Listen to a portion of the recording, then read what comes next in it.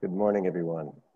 I'm Adam Lupel, IPI Vice President, and it is my honor to welcome you all to the second annual High Level Women, Peace, and Leadership Symposium, Implementing Transformative Action, Prioritizing the Women, Peace, and Security Agenda in a Time of Pandemic, co-hosted with the government of Sweden, a long-time and treasured partner of IPI. Uh, allow me to take the moment to thank the government of Sweden, uh, including the permanent mission of Sweden to the United Nations for their support and friendship, and to Foreign Minister Linde, who's here.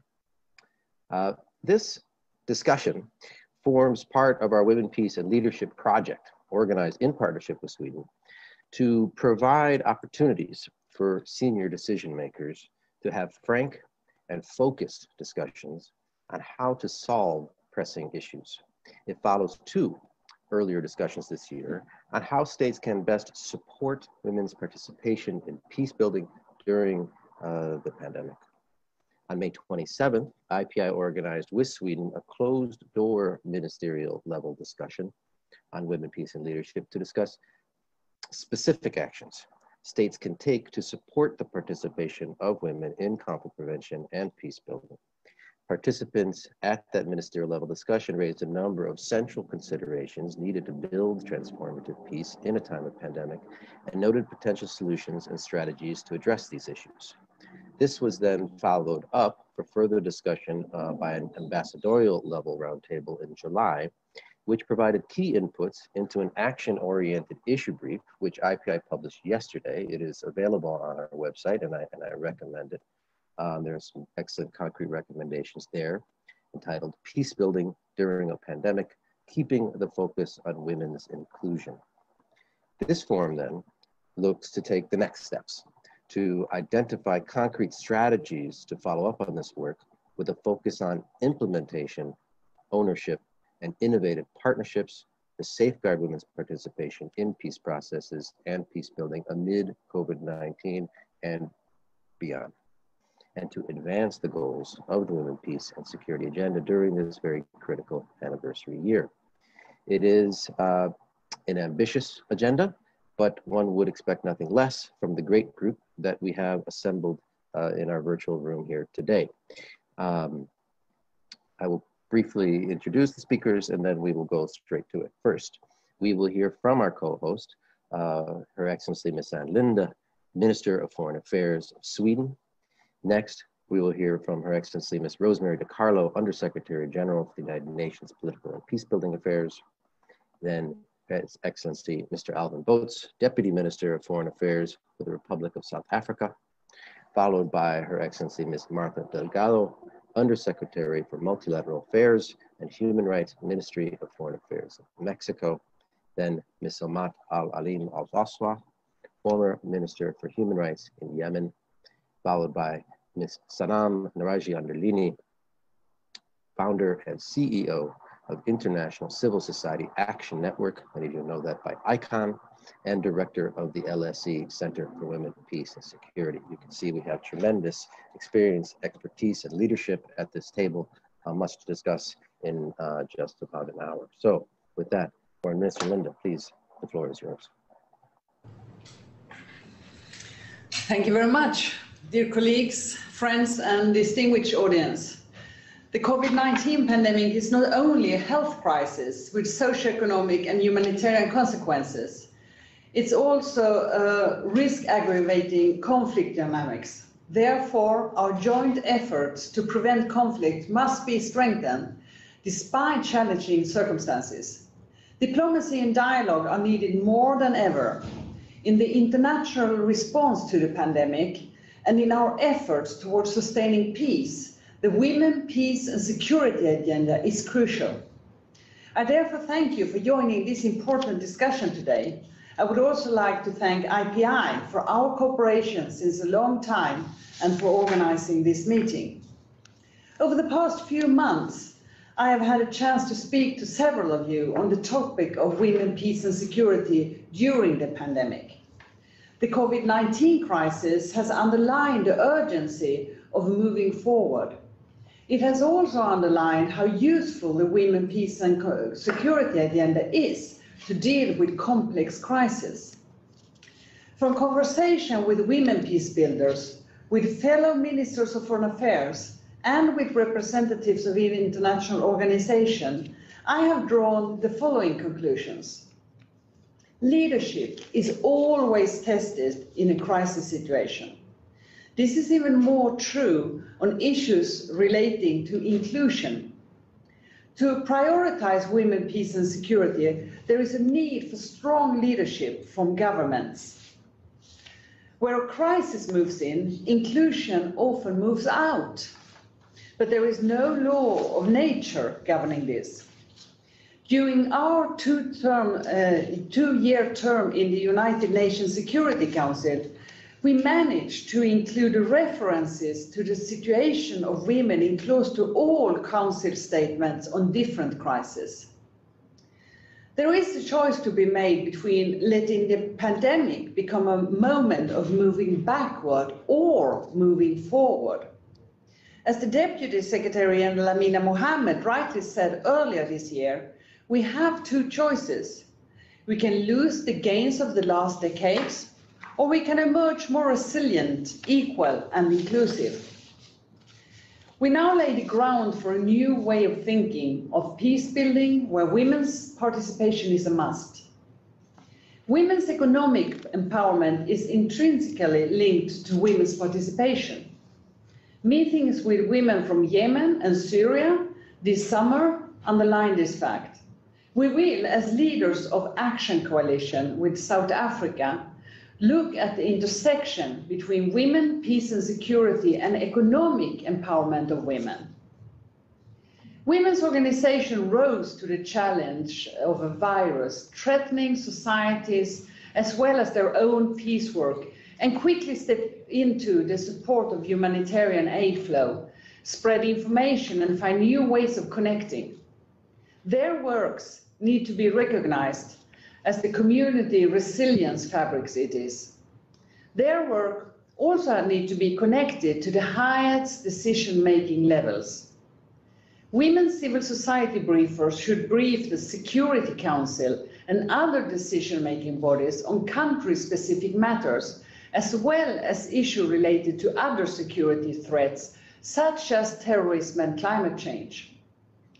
There is no need for the pandemic to be used as an excuse to decrease this participation. The virtual format is an enabling factor. We can do better. The pandemic has shown how the world can quickly adapt and change to a new reality. In 2020, we learned how changes come fast if needed. Women's participation is needed. It should come fast. Political will at all levels can make this happen. Women's participation can transform societies. In Belarus, we have seen how women have been in the forefront of the democratic demonstrations. I'm appalled by continued arbitrary arrests and forced exile of opposition representatives in the country. But I am inspired by the women leading the way. This year's United Nations General Assembly is taking place during exceptional circumstances. COVID-19 and challenges that follow in its footsteps have illustrated the need for strong multilateral cooperation and common solutions. The fact that the United Nations will turn 75 this year is an opportunity to push for a stronger and more effective United Nations that is equipped to address contemporary and future challenges. This also offers an opportunity to effectively address women's participation in peace building. We also need the involvement of other international bodies, as the incoming chairperson of OSCE, the Organization for Security and Cooperation in Europe, I see women, peace and security as an important element in our work to strengthen common security within the framework of the European Security Order, linked to the OSCE concept of comprehensive security. Finally, we must all work together to overcome destructive negative gender stereotypes not only to guarantee the full and effective participation of women in conflict prevention and peace building, but also to protect women and girls from sexual and gender-based violence. Thank you very much. Excellent. Thank you, Minister. Uh, we'll go straight uh, to um, Undersecretary General Rosemary DiCarlo, who I know is on a tight schedule. Please, uh, Rosemary, the floor is yours. Thank you. Thank you so much, Dr. Lupel. I'm really pleased to be joining you today. And I'd like to extend my thanks to Sweden, especially Minister Lind uh, and uh, the International Peace Institute for organizing this event. Um, in the last few months, the disruptive force of COVID-19 has impacted all of us. It has caused unimaginable loss and suffering, challenged our assumptions about how we live and work, and overshadowed so many of our global priorities, including this year's 20th anniversary year of Security Council Resolution 1325. As the minister said, while the pandemic is primarily considered a health crisis, it has had significant impact on our socioeconomic well-being and on peace and security. And many of the economic costs of the pandemic are disproportionately affecting women, who are overrepresented in some of the sectors hardest hit by shutdowns and ensuing layoffs and cuts. And gender-based violence, particularly in the home, surged around the world as COVID-19 lockdowns became necessary. Social unrest erupted in some areas because of deteriorating economic conditions, and parties to conflict at times used the chaos and uncertainty created by the virus to press their advantage. And during this difficult period, our ability to conduct, conduct conflict prevention and conflict resolution initiatives has been limited by travel restrictions. More than ever, we need to make sure that women's voices are heard in crafting the response to the pandemic and in building a more peaceful world. I'd like to highlight three priority areas for consideration. First, the use of digital technology. As travel restrictions have slowed peace talks or moved them online, we've taken steps to ensure women's leadership continues in the virtual world. The Special Envoy for Syria and the Special Representative for Colombia are using digital platforms to consult regularly with women's groups, advisory boards, and mediator networks. In Yemen, our special envoy leveraged the power of digital technologies to conduct large-scale virtual consultations with over 500 Yemenis, including many Yemeni women's networks. We see the enormous potential for digital tools to open closed spaces, increase the transparency of power sharing, and facilitate the safe and diverse participation of women in peacemaking. We've been able to engage more women than ever in peacemaking activities through digital technologies over the last few months. However, it remains the case that virtual spaces mirror the inequalities that exist in the offline world. Women and girls in conflict affected settings often lack equal access to technology and are subjected to online harassment and intimidation that can have real world consequences for their safety. And supporting access to technology and combating online bullying must therefore be prioritized as fundamental to ensuring women's participation in public and political life. Second issue, second area I'd like to highlight is resourcing. Effectively implementing the Women, Peace, and Security agenda requires dedicated and predictable capacity and funding. My department has allocated 17% of our extra budgetary resources to projects supporting women, peace, and security. We've also created a gender marker to track the mainstreaming of gender issues in all of our initiatives. And the UN Peacebuilding Fund has over the last two years allocated 40% of its total investments to gender responsive peacebuilding. Allocating adequate, predictable, and sustained financing must be a joint priority for all of us to achieve the women, peace, and security agenda.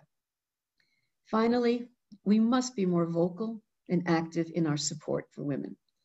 In an environment of shrinking civic space and backlash against women's rights, it's incumbent on the international community to, and I will quote Secretary General Antonio Guterres in this, push back against the pushback. We must harness the current interruption to the status quo to build more inclusive prevention, peacemaking, and governance structures. We need to build back better. Thank you. Excellent. Thank you. Very clear to, to lay out those three priorities, and hopefully we'll be able to get back to some of those during the discussion. But I think we will, uh, to keep on time, we're going to keep moving forward and move to uh, uh, His Excellency Mr. Alvin Botes, Deputy Minister of Foreign Affairs for the Republic of South Africa. Mr. Botes, please, the floor is yours. Uh, the moderator, uh, Dr. Lupel, the Vice President of the International Peace Institute, Minister Anne Lin of Sweden, our co-hosts, uh, colleagues. I would like to thank the International Peace Institute and the government of Sweden for organizing this symposium.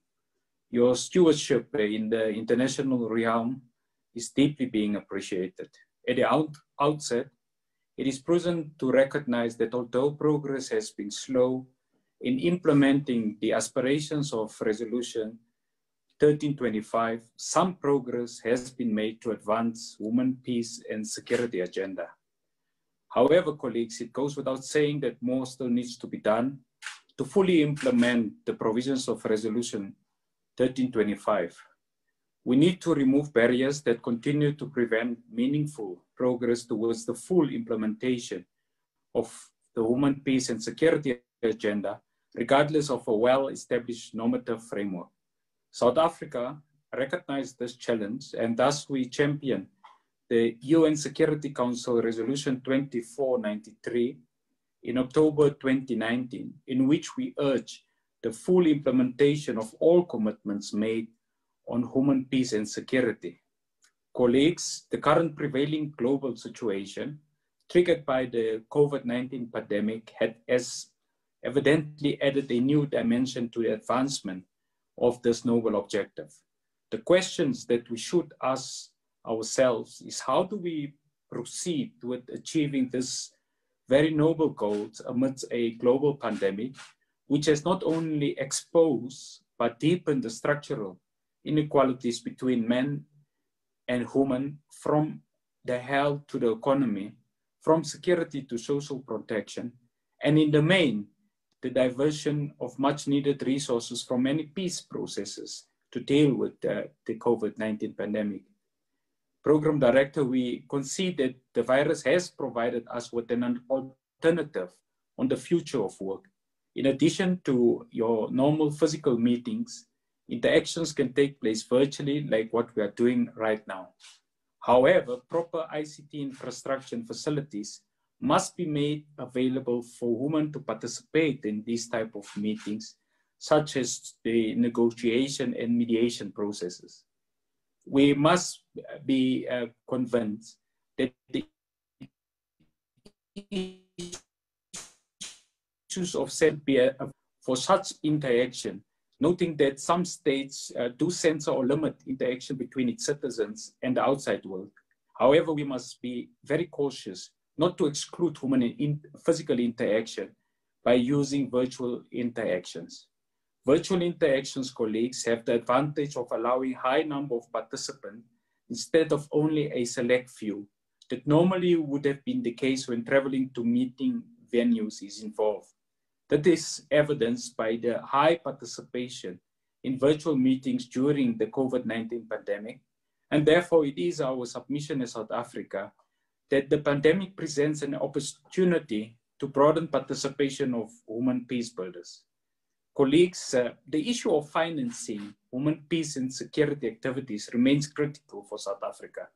States, regional organizations, and relevant international organizations can and should play a greater role in securing financial resources to support inclusive peace processes and for women involvement in peace building during and beyond the pandemic. The allocation, therefore, program director, of a certain percentage of the official development assistance directed to conflict affected countries to gender equality and women uh, empowered programs, which include women peace and security activities, should be maintained and encouraged during and beyond the pandemic. Similarly, a certain percentage of funding for peace building activities undertaken by the UN Peace Building Fund should be dedicated to women, peace, and security activities. And it is our recommendations that these should be aligned to the national action plans or equivalent frameworks, which must be accompanied by dedicated budgets. In terms of leadership of women, evidence provides that women are in the forefront of dealing with the challenges faced by women during the COVID-19 pandemic. They are the majority in the health sector and informal economy. At the same time, however, few has been included in national COVID-19 response plans. Colleagues, it has unfortunately been reported that during the COVID-19 pandemic, more women and girls have been subjected to gender-based violence. This vulnerability was identified by a woman activist and also by the UN Secretary General, Antonio Guterres, who called for a national COVID-19 response plan to address gender-based violence. It is therefore critically important that women and girls in conflict-affected situations and frail situations are, who are prone to gender-based violence are provided therefore with the necessary assistance, particularly sexual and reproductive health services. It is critically equally so that peace processes continue to include active participation of women at all levels, colleagues. The leadership of women could and should further be strengthened by regional and global networks, coordinating efforts, sharing of experiences, and best practices. Looking ahead, and in terms of the commitments for practical implementation as we begin the 75th session of UNGA and beyond, South Africa wishes to see the following. Firstly, the continuation of the commemoration of the anniversaries of the Beijing Platform for Action and Resolution 1325 into 2021. Secondly, the implementation of targeted and achievable quotas for women representation and participation across the peace continent. Thirdly, the intergenerational interaction with more involvement of young women within the peace uh, dialogue. Fourthly, the finding of solutions regarding the sustainability of the resourcing financially of uh, this very noble intent. Fifthly, colleagues, enhancement of partnership between governments and non-state actors, in particular women uh, NGOs. Lastly, colleagues, uh, we, we are obviously looking at supporting undertaking of more research on the impact of the global nature of health pandemics on human, on the human peace and security agenda. As I conclude, uh, we reiterate as South Africa uh, that any transformation uh, approach requires strengthened monitoring, evaluation, and coordinating measures in implementing this very noble uh, agenda. Thank you very much, Program Director. Excellent. Thank, thank you, Minister. Very, uh, very detailed and concrete uh, proposals there. Much, much appreciated, and really is sort of what we're we're looking for in this forum. So, uh, thank you so much for that. We'll discuss it further uh, in a moment. Uh, but now we will move on to uh, Her Excellency Ms. Marta Delgado, Undersecretary for Multilateral Affairs and Human Rights, Ministry of Foreign Affairs, Mexico. Please, the floor is yours. Thank you very much, uh, Her Excellency Mrs. Ann Linde, Minister for Foreign Affairs, dear colleagues. Um, on behalf of the government of Mexico City, I would like to extend my deepest appreciation to the Minister Ann Linde and the International Peace Institute for convening this timely high-level virtual symposium. Mexico firmly believes that effective multilateralism represents the best mean for addressing common challenges. The COVID-19 pandemic is an unfortunate example of the need to revitalize multilateral cooperation and explore new avenues of collaboration in order to achieve common goals and tackle global climate change and global challenge, such, such as ensuring the implementation of the Women, Peace and Security Agenda also.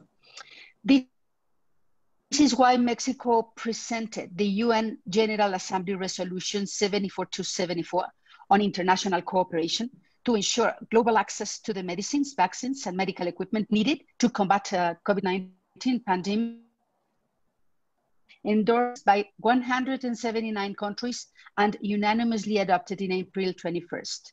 This resolution calls for synergies between various UN agencies to help member states to address effectively the pandemic with the conviction to strengthen multilateral system. Uh, as the global COVID-19 pandemic spreads, the most vulnerable, including women and children, pay the highest price during the conflict and post-conflict settings.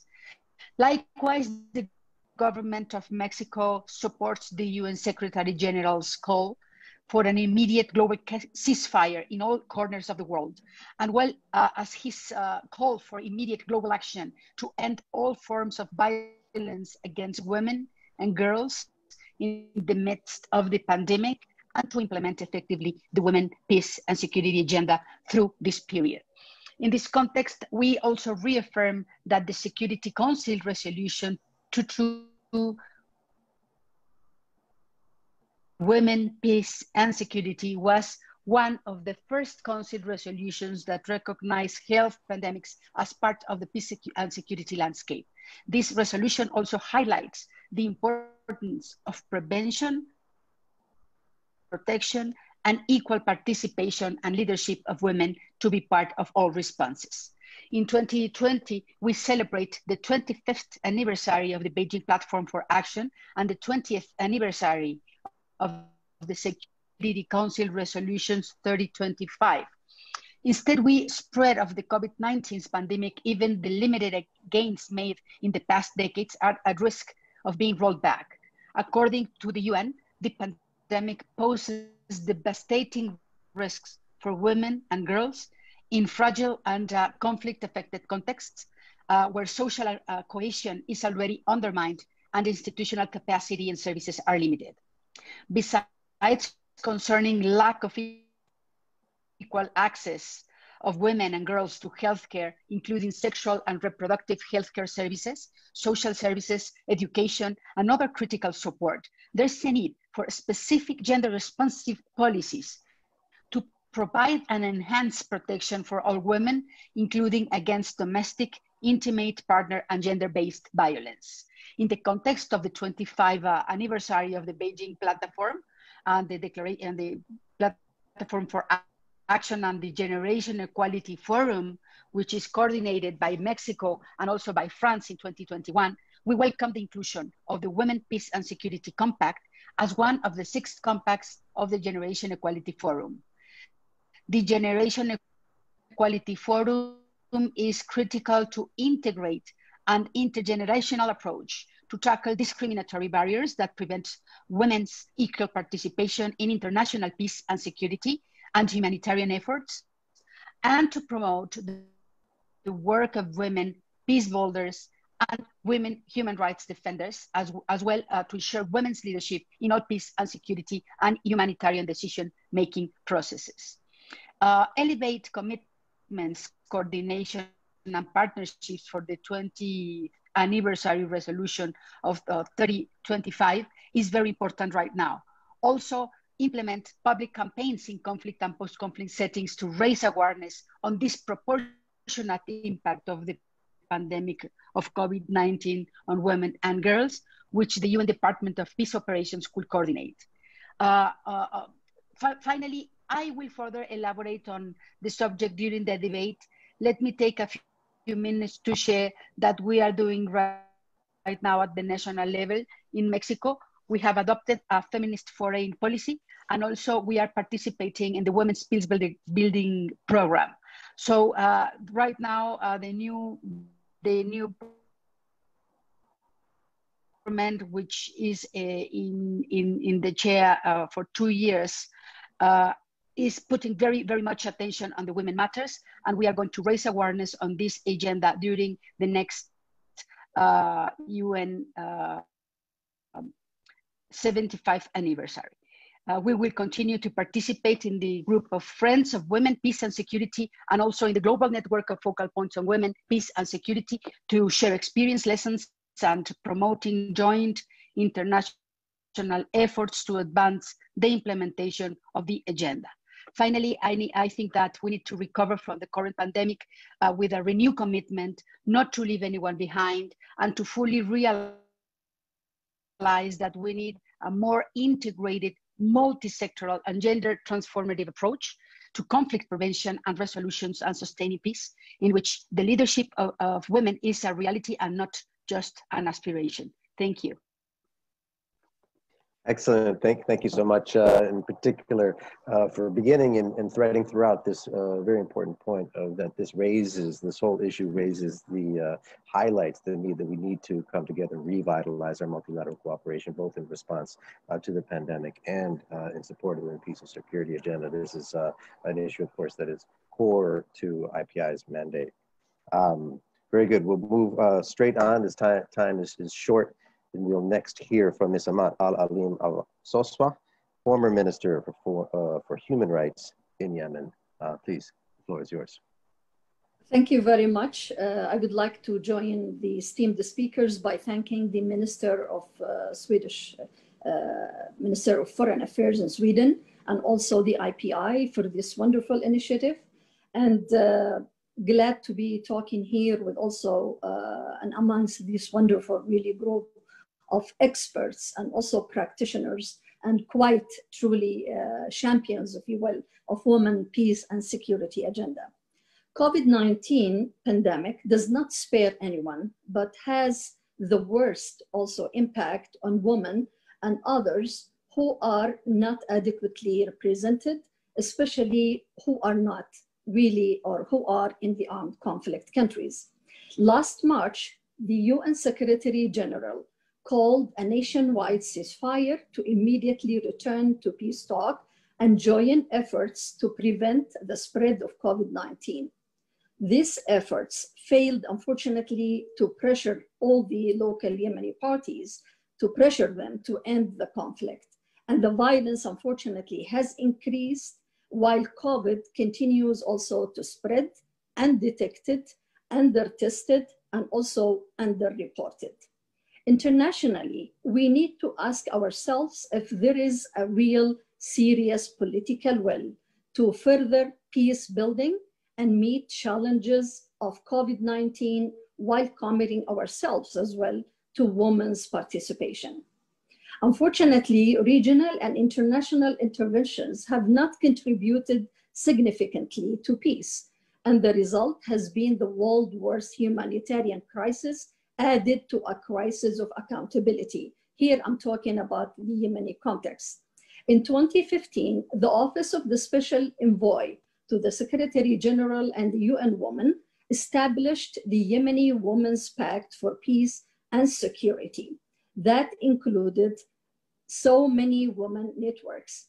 In March 2018, to facilitate the new Special Envoy's task, 146 Yemeni women leaders submitted a summary of relevant issues and peace building recommendations. To date, most of these have not been meaningfully addressed. Both the pandemic and peace building require that national efforts be carried out in tandem with local and community-based approaches. International organizations must tailor interventions to the perceived needs of the diverse women's networks in each country. External interventions cannot succeed independently of strong local input, and the most sustainable policies and interventions must be initiated and implemented by local women and men. I here underline also the word of men. Yemeni women have been active local mediators throughout the conflict. And in response to COVID-19, women have worked through village, municipal councils, and the private sector to manufacture and distribute, to distribute PPEs, masks, and protective clothing to medical staff and the public. They have negotiated also the release of prisoners from detention centers to reduce the spread of infection. Women doctors and nurses have been amongst the first responders at the peak of the pandemic. Young women entrepreneurs continue to be active participants. These efforts all were not initiated top down. As we begin the 75th session of the United Nations General Assembly, I would like to see a sincere commitment by all UN system to assist in re-establishing peace and stability, implement its relevant resolutions in support of women's participation, and at the same time, to commit to involving local communities, trusting them in regards to peace building, especially to articulate their needs and priorities with regard to this important process.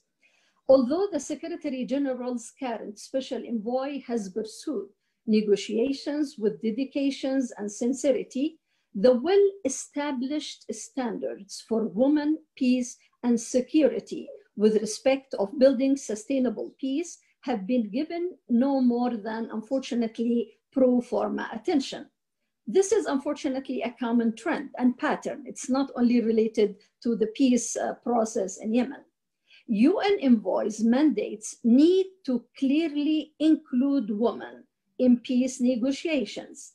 It is not enough to give a voice to women, often after considerable additional pressure, unless they have the right and also they can vote excluding women because one or more of the warring parties refuses to accept the woman's presence is unacceptable. It's unfortunate. I mean, uh, what I would just say before before we move on, and hopefully she can she can hear me, is I mean, uh, is really grateful for the perspective from Yemen because Yemen really women peace builders in Yemen are really a case example of why women peace builders are so important. And she raises a number of issues, in ter- including yeah. Um, are we? Yeah. Um, and I would just note that the the uh, issue brief that we published uh, yesterday has a case study on uh, women peace builders in Yemen, which could add uh, further further context to uh, her remarks, and hopefully we'll get her back for the discussion. Um, but for now, just keep things uh, moving. We will turn to Sanam Naraghi Anderlini, founder and CEO of, uh, of ICAN and director of LSE Center for Women, Peace and Security. Sanam, please, the floor is yours. Uh, good morning from Washington, D.C. Thank you, IPI. Thank you to, uh, to Minister Linde and, and others for inviting me. Um, I'm going to cut to the chase. Uh, you've all mentioned what the problems are and what the difficulties are, and I'm very grateful to Amat for actually shifting the conversation towards really what women on the ground are doing and how some of the problems, unfortunately, are still lying with the fact that our international partners um, are the ones who are really not doing all that they can to ensure the inclusion of uh, and representation of women. I wanted to uh, uh, uh keep my remarks to what, what our experience has been and a few recommendations of what needs to be done. When COVID hit, ICAN, um, uh, given that we run the Alliance for Women's Leadership, uh, Security Leadership in 40 countries, we started doing weekly calls with our partners in March. We now have every week we've had we've had the entire Security Council come and talk to us. So it's been very much a direct contact between very very local people from Libya all the way to to the Philippines and and, and Colombia every week with uh, international actors we also very um, we're also very grateful to our to our donor partners the uh, canadian government the swedish government and others for allowing us to provide flexible funding this year for our partners we run the innovative peace fund we do independent small grants and medium-sized grants to our partners and we and we were allowed to do flexible funding because of covid the number of stories that we have of the impact that giving money to peace builders who then have done covid work and the implications of that for local peace are tremendous. And I, we don't have time. I'm happy to share with you later. But again, I want to bring back, bring it back to the story of Yemen since, since that's been the theme. Um, our Yemeni peace builder partners have been at work. We helped them with uh, issuing statements about ceasefires. The funding that we gave them helped them do PPE work, helped them set up and fix water stations. The WHO was telling people to, to wash their hands with soap and water. In most of the countries, we have partners where there's war. People were saying we have neither soap nor water. The grants that we gave enabled our partners to do this and, and be present locally. They were doing food bags, they were dealing with domestic violence, all the kinds of issues that you're talking about. Women peace builders were the first ones to respond on the ground and be present. As a result of that, we've seen a number of things. Number one, because they stick their necks out and because they are taking, running to the problem and trying to deal with every, every, everybody's issues, they've also been threatened. And, and this is really an important issue that we need recognition, not just of any women for this particular incidents and for these particular issues of going to the peace, peace table. We need recognition of women who have the courage to become peace builders. They are a very unique community of people. They run to the problem when others are running away. They, they are the bridge, they are interlocutors, they are trusted. And at the same time, they are the ones who are threatened because they hold armed actors accountable. They hold governments accountable. They represent the voice of communities and people in marginalized sectors of society, which I'm sorry, neither governments who are bombing their own people nor armed groups that are bombing their own people do. They, so, in a sense, women peace builders have taken on the responsibility to protect without having the power of the gun or having the power of the political elite. They need to be recognized as actors in conflicts and as independent delegations as peace tables. We need to ensure that. I think that's the next step of where we need to go. We need to recognize that the local work is really essential. And the grants that we give range from $3,000 to $80,000. These are not big amounts of money, but they make a huge amount of difference. And frankly speaking, between the COVID 19 issues and what happened in Lebanon with the Beirut explosion, over and over we see that local, local actors respond. The international community coming, comes in and actually does harm and doesn't get the resources to them. So we need to shift that balance. The balance has to go to local resilience, local organizations at the right time through the different mechanisms that, that, that, that exist. And we have the examples of this. In terms of moving forward with this agenda, specifically with peace talks, um, here are four things that, that our, my network and our community is, is, is talking about. One, independent women peace builder delegations to peace talks.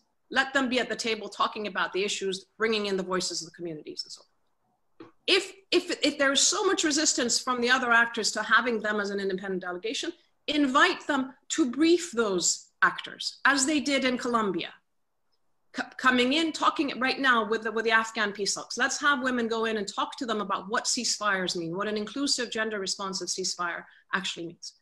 Bring them, talk about all the issues, and, and let the, the other belligerent actors be responsive to them.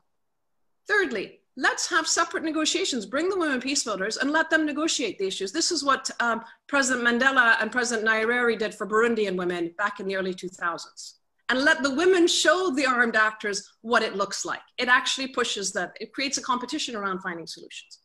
And finally, as the international community, given that we know that 50% of, of exclusive peace processes fail, we should be now taking a united front and saying, unless the peace building community of a country supports the peace agreement that's been signed, we from the international side should not be putting good money after bad.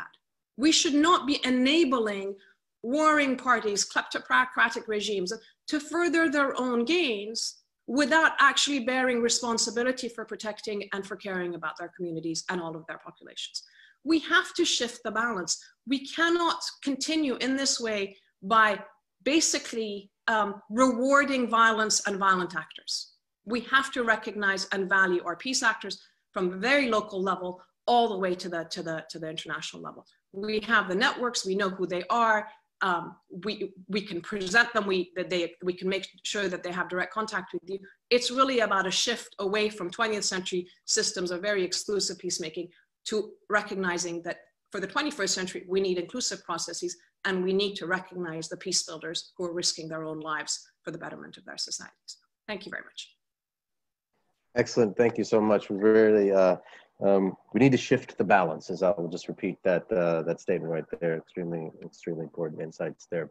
Um, we have only about 10 minutes left, but we do have one uh, intervention uh, from our virtual floor and then a couple of questions from our uh, international audience. And so I'll turn right now to our intervention from the floor from Kaavya Asoka, Executive Director of the NGO Working Group on women, peace, and security. Please, Kavya, the floor is your, your question. Thank you so much, Adam. Good morning, everyone. It's so good to be with you all, and thank you for your excellent interventions. There's so much to think about, and so much that I agree with that I've heard from all of you today. Um, so, before the pandemic, we knew that despite all 10 WPS resolutions emphasizing women's rights and their full, equal, meaningful participation seven out of 10 peace processes still exclude women and only about 14 to 22% of peace agreements actually contain gender provisions. Uh, I think uh, our most articulate intervention from Ms. Amat Al-Soswa was extremely compelling and she raises a lot of very important points that I think we need to engage with, which is that we're continuing to hear the same arguments to justify women's exclusion that women's participation will destabilize already precarious processes, that what matters is stopping the fighting and saving lives. And the pandemic, despite uh, the opportunities many of you have highlighted, uh, has become another excuse to exclude women yet again. So my question to the panelists, uh, keeping in mind what Ms. Amat raised, which I think is so important, we are facing a crisis of political will as well as a crisis of accountability. Um, so how do we translate these rhetorical commitments that we've heard from the international community over a period of 20 years um, and translate that into real and concrete action? We've heard of technical solutions like, you know, uh, uh including women through virtual spaces and so on. But the fact is that what we actually need are political solutions to address this core problem of women's participation that we continue to confront 20 years since the adoption of 1325 we as the NGO working group propose making the direct and formal participation of women a requirement in all UN supported peace processes. Would our panelists, particularly our former, current and incoming members of the UN Security Council, Sweden, South Africa, Mexico, support that? And how are you planning to champion women's participation in formal spaces? Thank you. Excellent. Thank you. Very direct, uh, pointed question there. I think so. We've got very limited time. So what I think I want to do is I want to just briefly uh, put on the table two uh, two uh, further remarks. Then I'm going to go to Amat uh, right away, and one of them actually I think uh, responds really to her, and then each one I think will go in in sort of reverse order um, for responses and final questions. The first question is is, and this relates really to Amat's point is from Tabitha Mwangi, a fellow from the African Leadership Center from Kenya. And she asked, frankly, what, what, what's the role of the private sector? How do we envision the role of the private sector in dealing with gender equalities during and after the pandemic? And then, and then a point, um, a question from Youssef Mahmoud of Tunisia and a, a senior advisor at IPI. Um, we've been talking a lot about studying the, the negative impact of COVID, but we see a lot of examples of women really leading on the ground during COVID, how can we use those experiences as lessons to how to improve participation of women peace builders during uh, this time?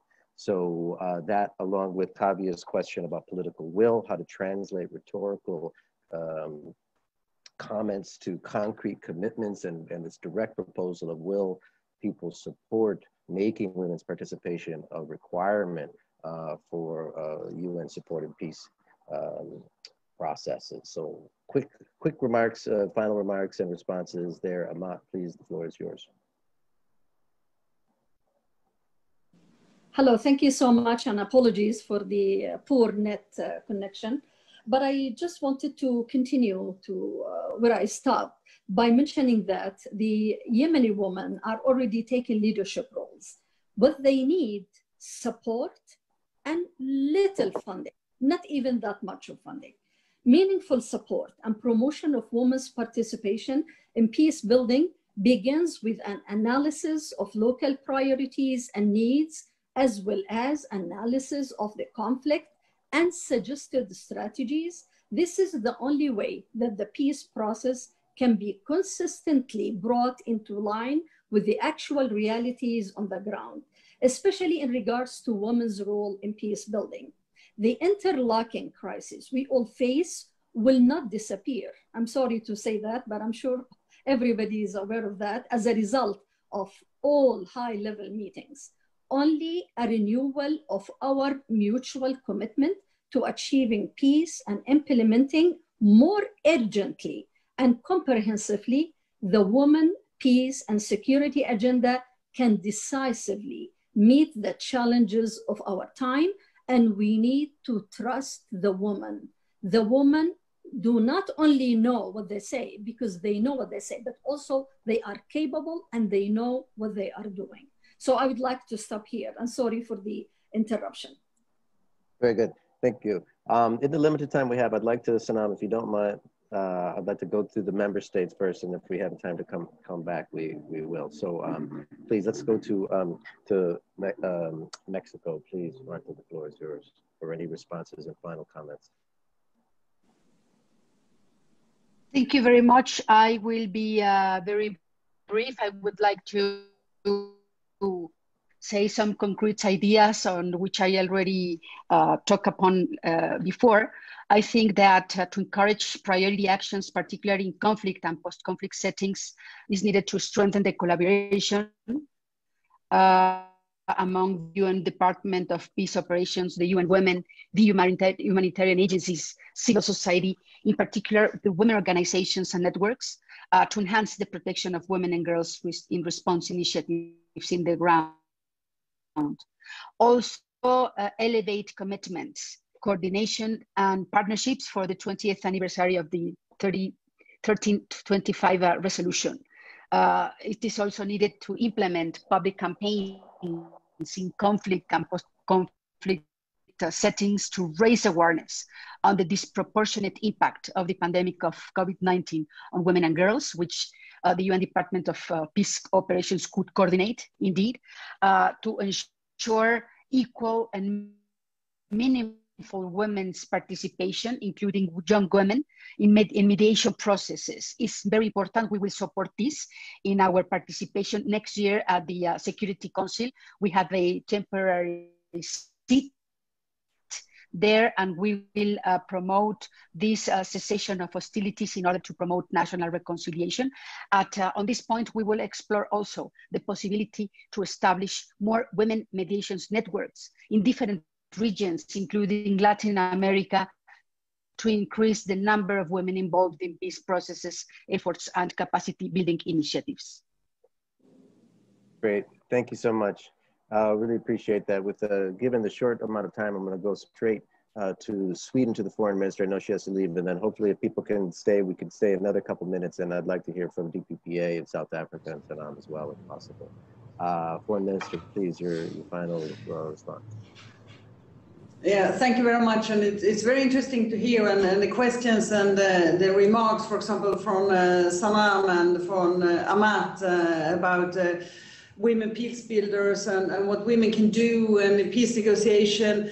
Uh, I think that despite of the COVID-19 pandemic, the, the, I have been struck by the fact that women organizations continue to mobilize online and, and also using social media and other uh, available tools to communicate, to, to coordinate, to monitor ceasefires, uh, to um, make confidence building measures uh, and other issues. And we work very closely with the different UN envoys to, to make sure that women peace builders are involved in different stages of the process and finding way and uh, as um, Amat knows very well, but uh, um, maybe some of you don't know that uh, when we had uh, the negotiations between the parties in the Yemen conflict in Stockholm that led to the Stockholm Agreement, we asked specifically, um, it was the United Nations led, but we facilitated it from, from, from Sweden,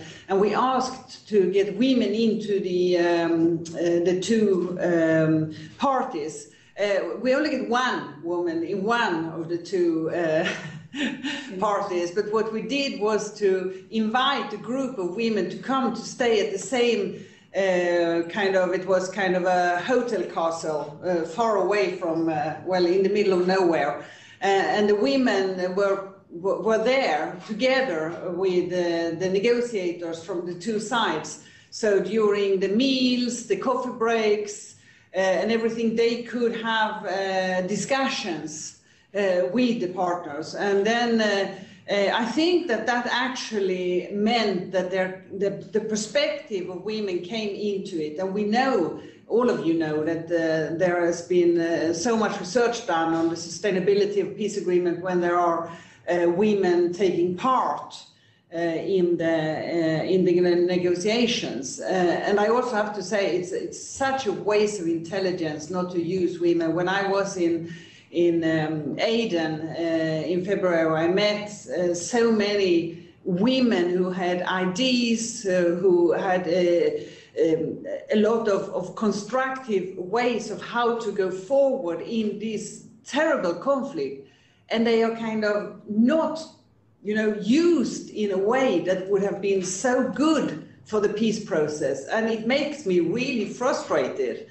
And that's also why I think that the women, peace and security agenda needs to be pushed uh, and all of us, both in the government and in the, um, in the um, uh, civil society uh, and in others, need really to push this issue, not as some little things you do beside with your, as we say, with your left hand, but something that should actually be in the center because it, it gets results uh, and it makes uh, uh, final peace agreement much more sustainable. So unfortunately, I have to run to another bilateral meeting. Uh, so um, thank you for, for, for coming, all of you, and I hope that you, some of you will be able to stay a little bit, even if I, I have to run. Thank you very much. Thank you much, Minister. Really, really appreciate the, the partnership and your and your comments today. Thank you.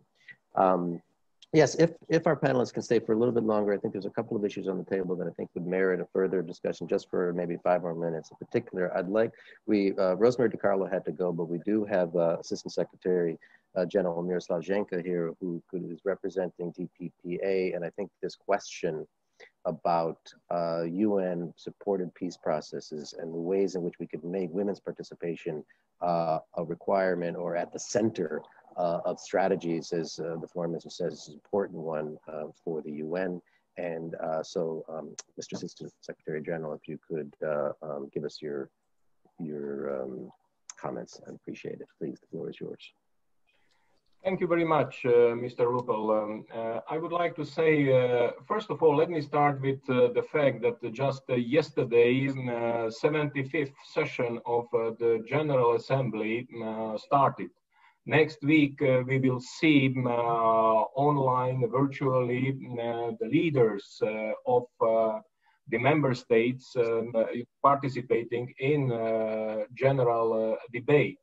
My point is that it is extremely important now when we start the 75th session of the General Assembly to uh, walk the talk uh, and actually uh, ensure and also create pressure that uh, more women are uh, appointed in leadership positions uh, and consider adopting special temporary measures such as quotas where needed to increase women's participation in decision making. Just uh, following the uh, general debate, uh, you can see how many women are on the screen. I think it will be very interesting test Second, uh, what I would like to say, and it is about uh, participation, um, meaningful uh, participation in uh, political um, uh, peace processes, uh, in peace processes in general.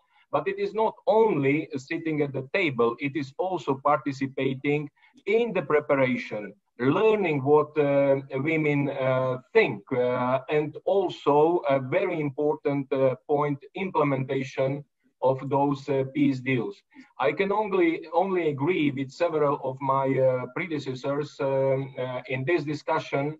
You know, when pointing to the fact that we don't see real, meaningful women uh, inclusive participation in uh, the peace uh, processes.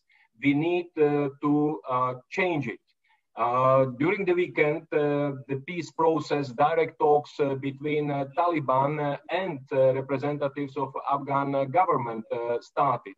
I think that a lot has been achieved to ensure you know, the rights of girls, of women in Afghanistan. It is extremely important then in these peace talks, uh, women are represented uh, as they uh, deserve.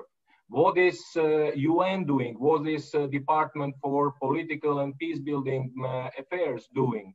We are trying to include women, not only trying, we are doing it, you know, to be part of our activities. Now during COVID, it is extremely important to use technology and uh, engage women, for example, also in the debates uh, and sessions of the Security Council and international um, uh, peace fora in order to uh, hear their voice. We are working on um, uh, gender strategies um, with uh, countries. Afghanistan is one example, Yemen another, Geneva international discussions on Georgia as well let me uh, finish uh, with uh, one thing that the best way to lead is you know, uh, with uh, showing example. Secretary General Guterres uh, started his term very clearly, making a very big objective of his term to achieve gender parity in leadership positions we can say now that uh, among all undersecretaries general and uh, assistant secretaries general, half uh, is uh, women.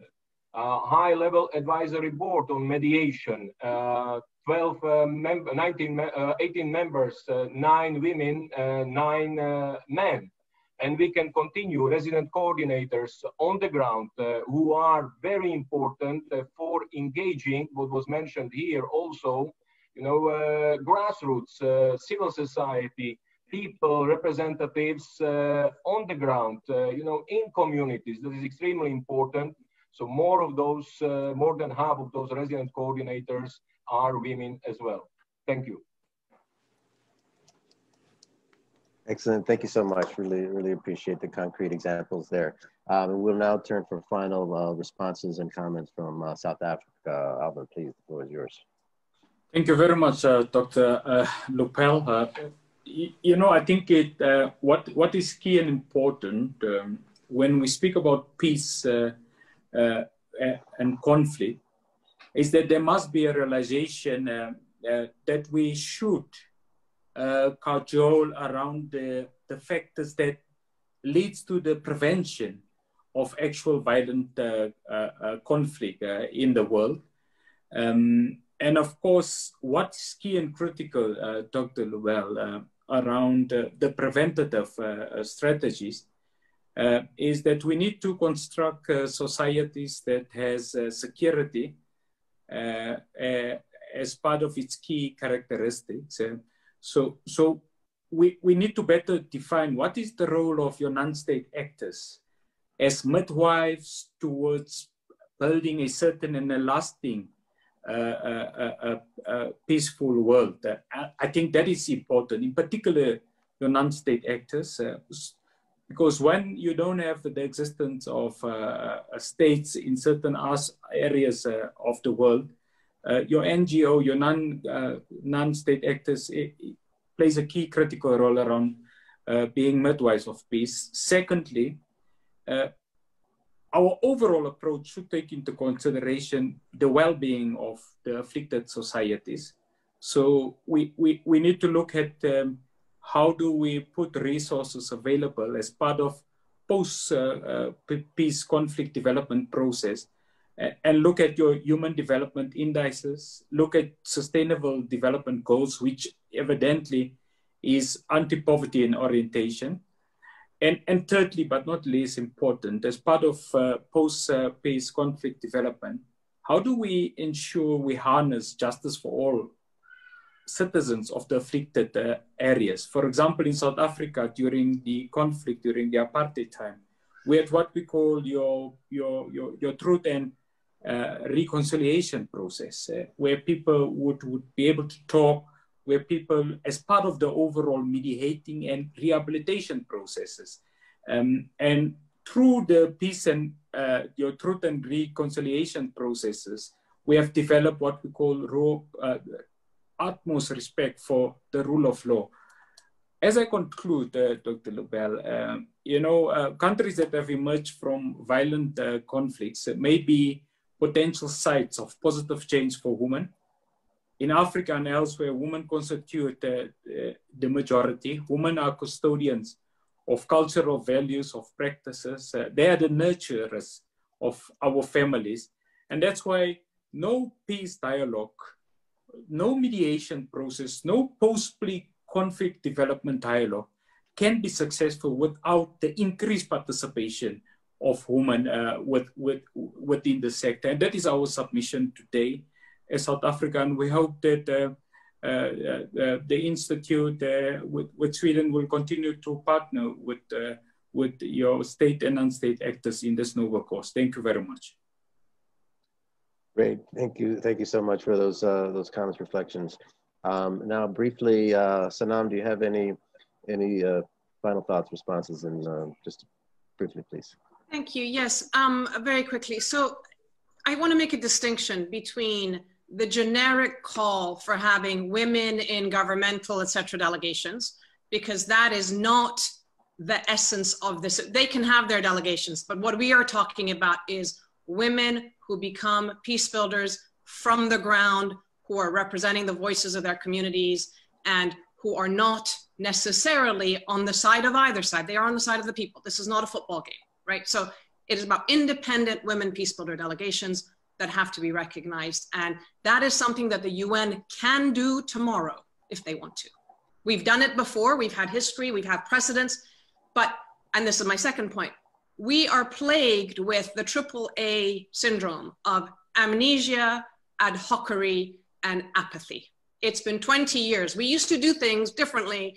Every time we have good practice, it doesn't get built on, it gets forgotten. So we need to shift the AAA syndrome to a triple C syndrome of care, consistency, and commitment. This is where we are. We don't have time to wait around another 20 years to see whether we're going to have more wars and not. The, the entire Middle East is about to explode. Inclusivity is the answer, is the gateway through which we can begin to rebuild and, and, and have a hope for, uh, for, for peaceful societies. And the UN needs to get on board with us. We love them, we love the UN, but it's got to get into the 21st century. So thank you for, for, for the time. And, uh, and again, apologies for um, being so frank, but it's urgent. Great, uh, thank you, Sanam. No, that's uh, that's why we invite you to this forum because you are frank, of course. Uh, this has been a, a, really a rich discussion. If I could take just just uh, just one minute here. Um, to, to thank you all very much for this participation. I think you know one of the things that we've been talking about quite a bit is this, this need to shift from the normative discussion to something more concrete, and that is, of course, the entire purpose of this forum, of uh, this project with Sweden. We need to shift the balance. It's been 20 years. We're here we are in this anniversary year, and we need to focus on implementation um, because it would be, as was said by the foreign minister, a waste of resources um, if we do not uh, elevate the participation of women. And this is not just about uh, uh, the, the principle of inclusion, although that's really important, but it's also about removing the barriers to that uh, um, inclusion. Um, that's why it's not enough to just say we, we want to support women. We have to do something because there are so many barriers to that um, participation, um, as I think was, was said by um, the Secretary General and uh, Rosemary DiCarlo, we need to push back against the pushback um, and this has to include uh, financing. A representative of uh, South Africa had some very detailed uh, proposals on, on that. And it has to have a real whole of system uh, approach. Um, uh, Martha Delgado uh, raised the point about looking at the multilateral system as a whole. This is not just about the Security Council. Of course, uh, it is also about the PBC and other elements within the UN system, but it's also about other international organizations. I think it is a great opportunity to have Sweden uh, coming in at the OSCE at this particular moment and advancing uh, this agenda. But we need to think about how the revitalization of multilateral cooperation writ large in this context of the pandemic can also help to um, advance these issues with concrete action. And um, you know, listening to Ahmad, of course, uh, was aware of this, but it's always so striking when you hear somebody um, uh, so uh, with such experience that you know we can learn, we must learn from the women peace builders on the ground. We can all learn from them who are already doing such brave work um, and deserve our support, our protection, um, as as Sanam said, it's also it's not about just grabbing women to represent one side or the other. It's about women who represent their communities and, and are doing the work for peace, not because of uh, you know wearing one uh, uniform or another of one side or the other. Um, and um, and including them, what that can do, as we've learned, is that including women, it's not just about including women, but women's inclusion represents um, the inclusion of broader elements of society. Um, and, and we've seen that again and again, that that helps to lead to more effective peace processes and, and peace agreements. Um, so I think we're all here um, in agreement about the fundamentally important nature of this agenda. And all I can say is thank you so much for your participation. IPI is really committed to this uh, with our partners of Sweden to take the next steps forward. Um, and uh, I look forward to seeing you all again and, uh, and following up again and again and again. Thank you so much. Have a good day. Take care.